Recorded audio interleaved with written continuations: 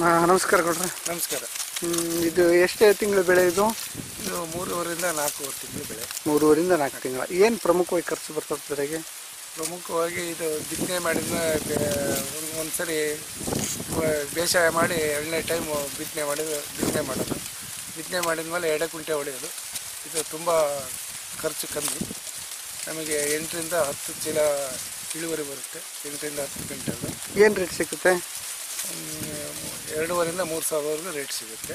ಎರಡೂವರಿಂದ ಮೂರು ಸಾವಿರ? ಮೂರು ಸಾವಿರ. ಹಾಂ ಹಾಂ ಹಾಂ. ಆಮೇಲೆ ಇದು ಆ, ಕ- ಕ- ಒಟ್ಟು ಖರ್ಚು ತೆಗೆದು ನಿಮ್ಗೆ ಎಷ್ಟು ಆದಾಯ ಬೀಳ್ತಿದೆ ಬೆಳೆಗೆ ಖರ್ಚು ಕಳೆದು ನಮಗೆ ಇದರಲ್ಲಿ ನಮಗೆ ಇಪ್ಪತ್ತು ಸಾವಿರ ಇನ್ಕಮ್ ಆದರೆ ಅದರಲ್ಲಿ ಒಂದು ಹತ್ತು ಸಾವಿರ ಸಿಗುತ್ತೆ. ಅಂದರೆ ಆಮೇಲೆ ನಮಗೆ ಪ್ರತಿಶತ ಅರ್ಧದಷ್ಟು ಖರ್ಚು ಆಗ್ತಂತೀರಿ ಅರ್ಧ ಬರುತ್ತೆ ಬರುತ್ತೆ. ಈಗ ಈ ಲೇಬರ್ ಪ್ರಾಬ್ಲಮ್ ಇರೋದ್ರಿಂದ ನಾವು ಸ್ವಲ್ಪ ಖರ್ಚು ತುಂಬ ಬರುತ್ತೆ. ನಮಗೆ ಈ ಮುಖ್ಯ ಇದಂದರೆ ನಮಗೆ ಮೇವು.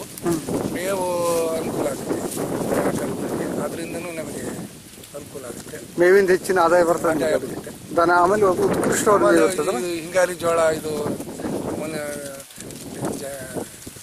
ಆರೋಗ್ಯಕ್ಕೆ ಭಾಳ. ಆರೋಗ್ಯಕ್ಕೆ ಒಳ್ಳೆಯದು. ಎಲ್ಲರಿಗೂ ಅನುಕೂಲ ಆಗುತ್ತೆ.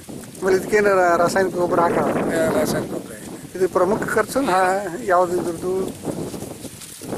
ಹಾರ್ವೆಸ್ಟ್ ಮಾಡೋದು ಪ್ರಮುಖ ಖರ್ಚು ಹಾರ್ವೆಸ್ಟ್ ಮಾಡೋದೇ ಪ್ರಮುಖ ಖರ್ಚು. ಬಿತ್ತನೆಯದಕ್ಕೆ ಏನು ಖರ್ಚೇನಿಲ್ಲ.